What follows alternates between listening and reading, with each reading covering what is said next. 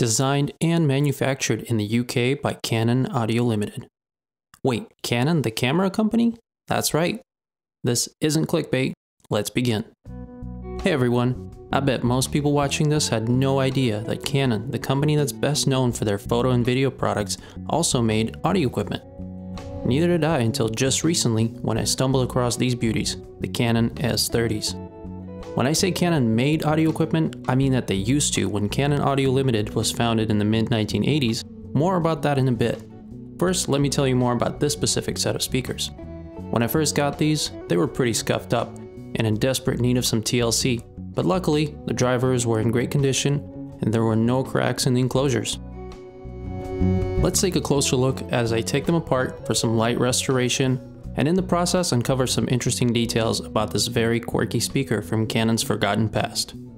But before I do that, a quick sound test.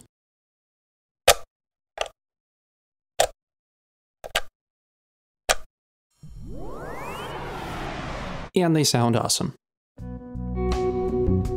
The speakers are constructed out of two injection molded ABS shells, as well as this reflective front slipper piece with just three screws, two in the back and one in the front, and the front shiny part, which is called an acoustic mirror, is off.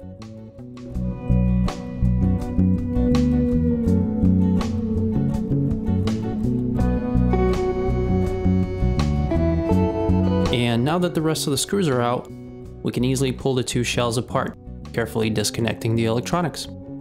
This PCB with some rather large capacitors and inductors presumably serves as an equalizer, meant to tune the frequency response of the driver. I will carefully set it aside for now. Luckily, no adhesives were used in the construction of the speaker, which was a relief. Around the perimeter of the rear shell is a rubber gasket, inside serving as a structural brace and tying all components together is this hefty aluminum die-cast frame. There's also quite a bit of this acoustic polyester fiber fill taking up majority of the space. Removing the fiber fill reveals the driver, which is held in place with four screws, through the shell and into the die-cast brace.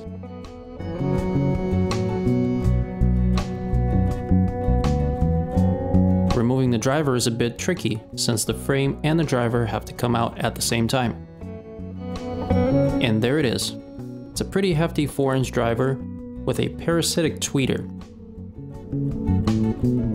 Now that I've got the speakers disassembled, I will attempt to lightly restore them, hoping to get most of the scuffs out and polish the shiny piece, but I won't bore you with that, I'll just show you the final result. And here's how that turned out.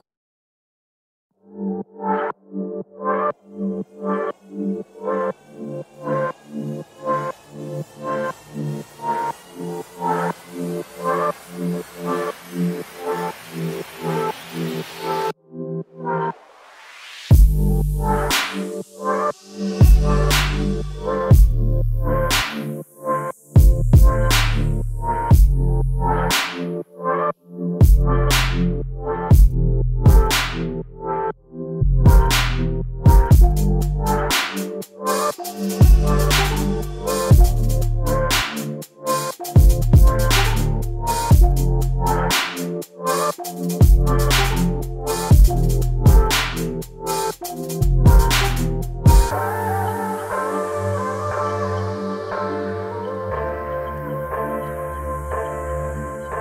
bit of history about the S30s and Canon's endeavor into the audio space.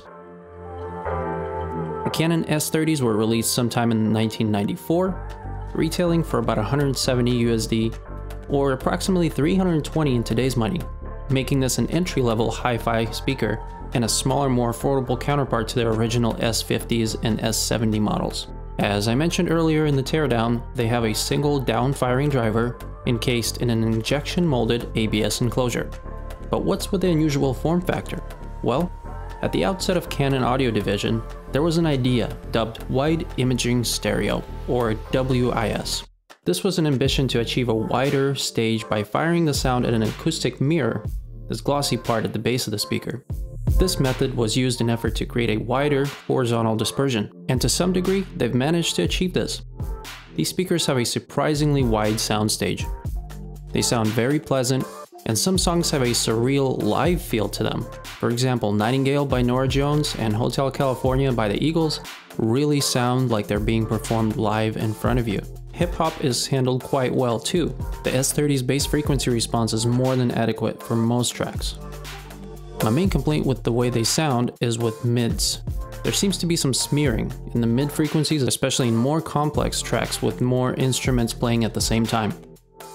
I wasn't able to find the official frequency response for these speakers, but there's a review on HiFiClassic.net of the S35s, which were a slightly upgraded model, mentioned a frequency response of 70 Hz to 22 kHz plus or minus 3 decibels, which sounds about right to my ear.